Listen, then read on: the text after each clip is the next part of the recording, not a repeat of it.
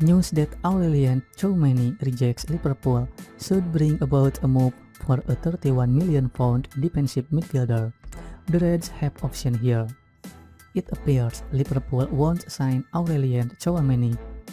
The highly rated French midfielder has a choice between the Reds and Real Madrid, but it seems he'll pick Los Blancos. The Liverpool Echo claimed as much on Sunday, and now RMC Sport says the same.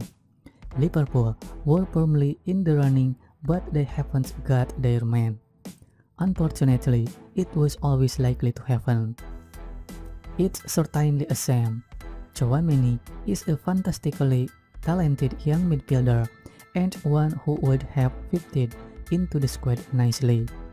There is a lack of solid defensive players in the Reds midfielder after all. Fabinho is largely the only one.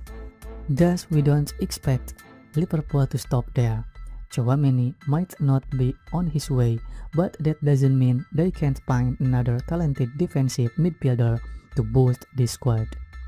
In fact, it sounds as though they might have the right alternative in mind.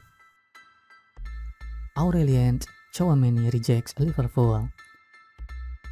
Football International claimed last week that Ibrahim Sangare is on the short list at Anfield. They apparently scouted him on multiple occasions over the final weeks of the season.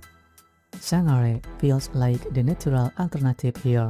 He's been absolutely fantastic for PSV Eindhoven this season, taking virtually every box Liverpool would want from a defensive midfielder.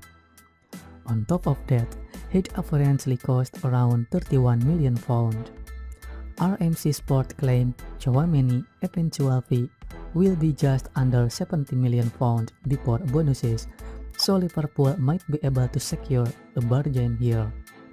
At the very least, they'd be taking far less of a risk with Sangare.